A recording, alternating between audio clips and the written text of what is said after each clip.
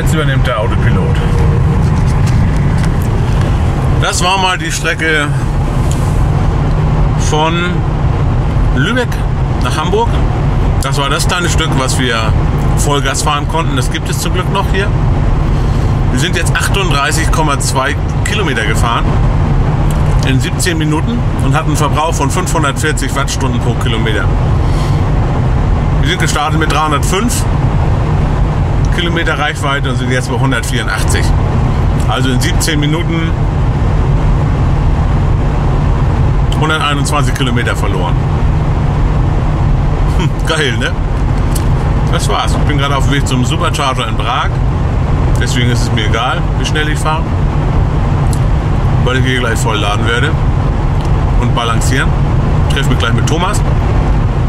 Ja, den Rest sehen wir dann gleich. Moin, Sie haben Supercharger Prag sind wir gerade. Kann ich wirklich empfehlen. Super Frühstück, super Essen und ordentlich Stalls, wie in meinem allerersten Video schon beschrieben. Funktioniert super. Ja, und da stehen sie. Einmal der von Thomas, der linken Seite in braun und meiner. Thomas auf seinen 21ern, die habe ich ja auch bald. Weil ich sie einfach am schönsten finde. Kommt er ja, der Waldschrat? Waldschrat. Ja. Was soll das sonst sein, was du darstellst, mein Freund? Mach mal meine Karre auf. Hier ist dein Schlüssel. Du kannst, kannst du ruhig nehmen. Ich kann nur was. Ja. Hier nochmal die, die Unterschiede. Wir haben das ja schon mal gedreht. Wir haben hier einen ganz anderen Kühlergrill. Auch die Motorhaube ist anders als bei meinem.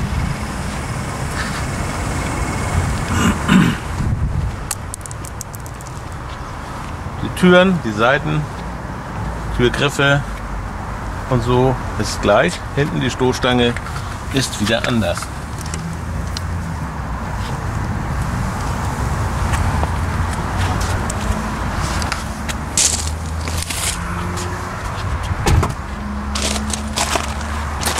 Wobei ich sagen muss, die Stoßstange vom alten Modell gefällt mir besser. Mit der Chromleiste.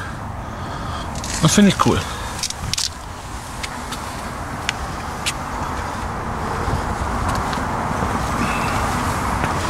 Das sind so die typischen Beschädigungen der 21er.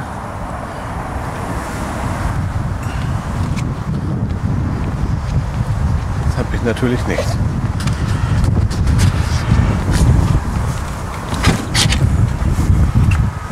Hier könnt ihr noch mal die Sitze sehen.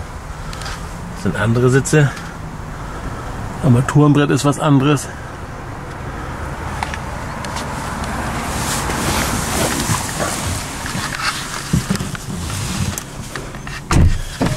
Davon habe ich auch schon mal gesprochen, von dem Übergang. Das ist anderes Material. Der Himmel hat anderes Material. Und auch bei Thomas sieht man hier diese Dichtung, die immer nicht hinhaut. Armaturenbrett, anderes Material. Die erste Konsole, die es damals gab, anderes Material. Selbst die Bespannung des Airbags ist aus anderem Material.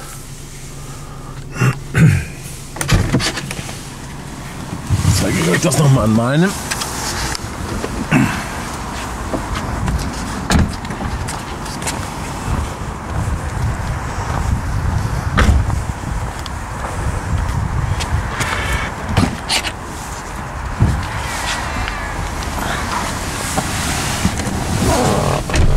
Ne? Hier nochmal der Unterschied.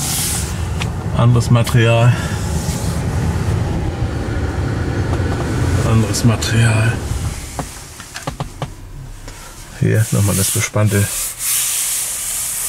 der bespannte Airbag. Anders, das Design des Displays ist anders. Die Konsole ist anders. Wenn man das hier rausnimmt.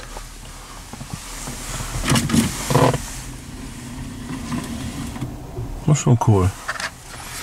Ja, das sind nochmal im groben Überblick die Unterschiede zwischen dem S85 von 2013, 14 und auch 15 zum Model S mit dem Facelift ab 4 2016. Diese Premium Interior Packages mit diesem Material hier gab es auch schon in dem älteren Modell. Ich glaube, das ging los 2014, ich glaube im August. Da wurde innen anderes Material angeboten. Ja, das war's nochmal im Kurzüberblick, wo ich mich hier mal kurz getroffen habe mit Thomas, den ich jetzt gleich nochmal filmen möchte. Und da sitzt er auch, der große Meister, leicht erhöht. Thomas, moin. Moin. Na, wie war Frühstück? Ist geil hier, oder? Sehr lecker, sehr lecker. Ja? Wie immer. Kann man echt machen. Kannst du hier dein, dein äh, ähm, wie heißt das noch? Strammer Max, glaube ich, ne? Ja. Ich hatte einen Stramm Max. Super lecker. Wird frisch gemacht, kannst du fast zugucken. Ein bisschen Speck dazu. Schönes Tesla-Frühstück. Immer noch besser als jeder Veggie-Burger. Oder? naja. Okay, ja, wir wollten uns einmal nur kurz treffen und ein paar Sachen abklären und das war's auch schon für heute. Also viel Spaß. Vielen Dank fürs Zuschauen. Bis bald. Ciao. Was ich noch vergessen habe, sind die Unterschiede vom Frank. Der Frank beim Tesla S75D mit dem HEPA-Filter ist natürlich viel, viel kleiner als der alte von den ersten Modellen ohne Allradantrieb. Soweit ich weiß, gibt es drei verschiedene Frank. Hier sieht man jetzt den ersten. Das ist der von Thomas. Riesengroß. Und das ist der von mir. Doch wesentlich kleiner. Ich denke mal mindestens die Hälfte kleiner. Das ist natürlich noch ein Riesenunterschied. Ähm, was noch ein Unterschied ist, das sind die Vorteile, die ich schon mal in meinem Video gepostet habe. Der 22 kW Lader im alten Modell ist super. Der kann mit 100 Kilometer laden in der Stunde und ich nur mit der Aufrüstung auf 16,5 80 Kilometer die Stunde. Beide werden original mit 11 kW Lader ausgeliefert. Das wären dann nur 50 Kilometer in der Stunde. Das ist noch der, ein, der Unterschied, den ich noch vergessen habe zu erwähnen.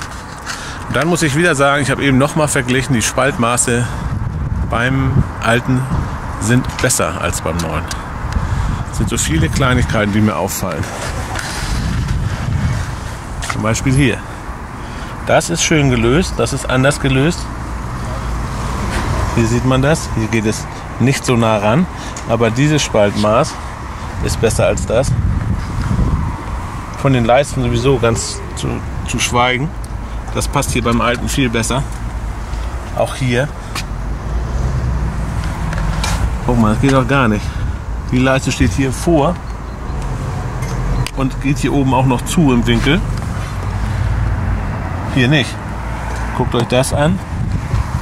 Guckt euch das an, da kannst du mit dem Fuß durchwandern. Hier. Und hier, das ist sehr ähnlich. Aber es gibt auch Unterschiede. Ja, das war noch mal ein kurzer Bericht, ein kleiner Anhang. Das hatte ich vergessen zu erwähnen.